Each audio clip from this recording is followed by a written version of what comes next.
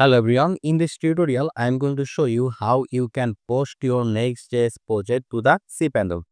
So this is my Next.js project and I am going to show you everything step by step how you can host this project to the cPanel. So for it first of all you need to go to your project directory. So here you can see this is my Next.js project and first of all what you need to do is that you need to click here at the top then right over here cmd press enter and it will open a command prompt in the project directory and you need to say over here npm install then press enter.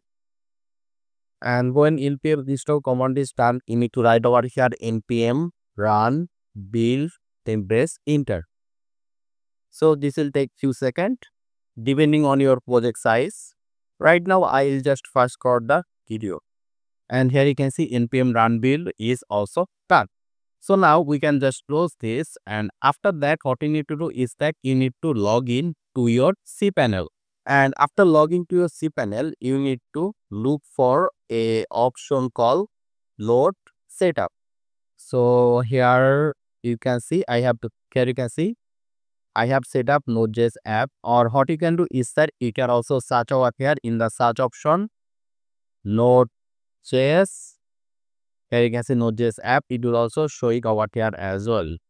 So I'm just going to click here. And here you can see this is empty. And here you can see create application. So we need to click on this button. Then you need to choose your project Node.js version. For my case, it's 20.19.3. And here you need to select production and you need to give a folder name here so you can give random folder name so i'm just going to say my next project. You can name it anything. And we want to post this project directly to my this domain. So that's why i'll only keep this. Otherwise uh if you want to post it to subdomain then you need to mention over here. So uh, we'll just keep it how it is. And here you can see application startup file. So we'll keep this empty and now we will click here create. And it will create a folder my next project in the cpanel here you can see node.js application created. So right now let me just open the cpanel in different tab. And this time we'll go to file manager. And let me just click here. Or here if you now go down you should be able to see a folder called my next project so here you can see a folder called my next project. Also on the left side you see the same thing. So what we need to do is that we need to go inside this folder. So let's go inside this folder and there you can see we have a few folder over here. Folder and a file. So right now we need to upload our project next project over here. So for it let's go back to our project location which is this one and first of all, what you need to do is that we need to delete this node modules folder from here. So let me just delete this.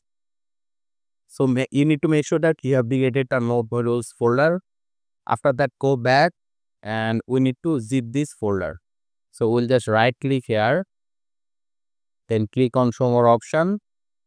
Then click on send to compressed zip folder. So it will zip our project and which is this one. So right now we need to upload this zip folder to the cPanel over here, my next project folder. So just click here, then uh, click on upload, then click here, select file, and our project was over here, local disk G, and we chose this off here. You can see block G. So we need to click on open, and it will start uploading the project and it will take different time depending on your project size and also on your internet speed.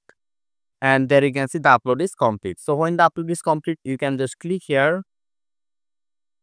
And it will take you over here uh, my next project for the location. So here we need to extract or unzip this. So we'll just right click and then click on extract and we'll directly extract it to this folder. So we'll just click here extract files.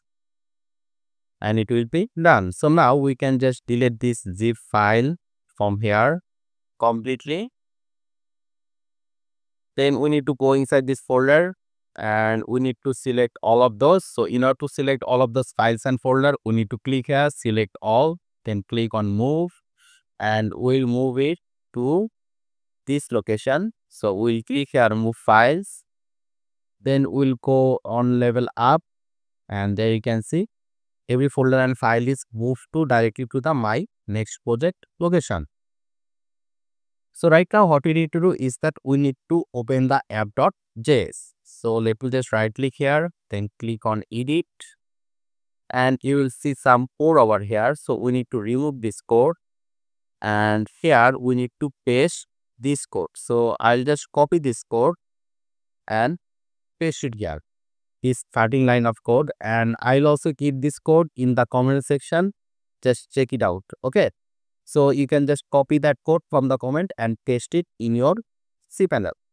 After uh, writing the code, you just need to click here save changes. It will be done and we can just close this.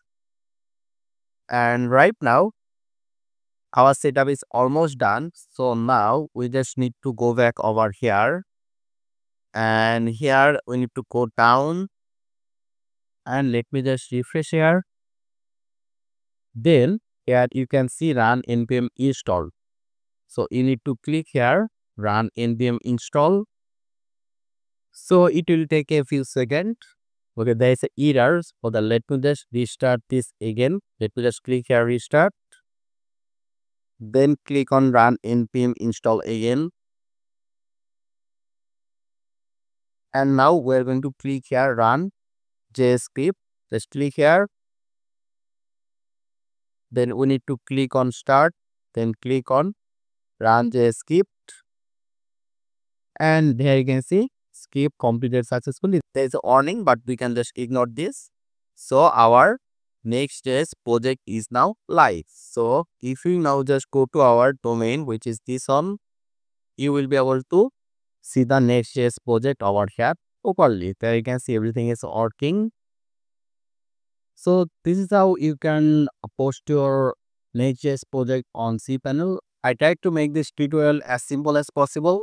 So I hope this was useful. Make sure to subscribe and I hope to see you in the future tutorials.